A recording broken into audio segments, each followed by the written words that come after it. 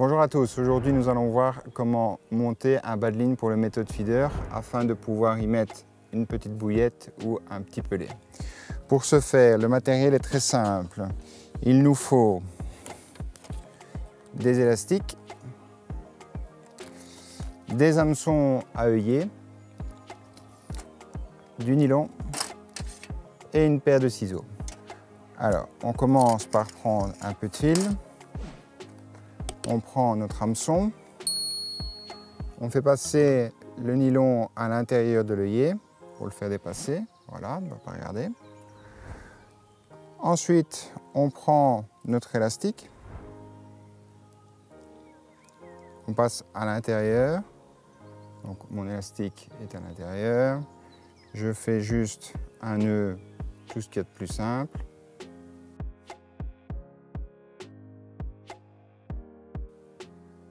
Ensuite, on va ramener à la distance souhaitée, plus ou moins 2 cm en général. On prend le nylon qu'on superpose sur la hampe de l'hameçon pour avoir une petite boucle.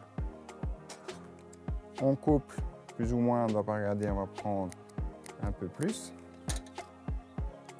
Et on va commencer par enfermer le brin dans les nœuds qu'on va faire. On y va et on va commencer à faire des spirales plus ou moins jusqu'à la pointe de l'hameçon.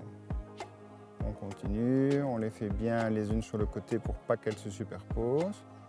Voilà, donc notre montage est presque terminé. On est à la pointe de l'hameçon. Donc, on a passé l'entièreté des spires. Notre fil libre sur le côté. On prend la pointe de l'autre côté du brin. On rentre à l'intérieur de l'œillet. On va venir serrer. Vous avez fait un montage sans aucun nœud. On va couper l'excédent puisqu'il ne pourra de toute façon jamais s'échapper.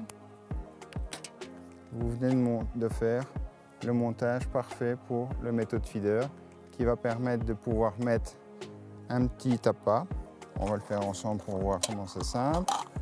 Vous pouvez utiliser une pince dédicacée, mais personnellement, je le fais comme ça parce que ça va tellement vite de le faire. Et vous vous retrouvez avec un montage parfait pour le méthode feeder qui sera piquant et sur lequel vous pourrez changer d'appât très facilement. Voici le méthode feeder.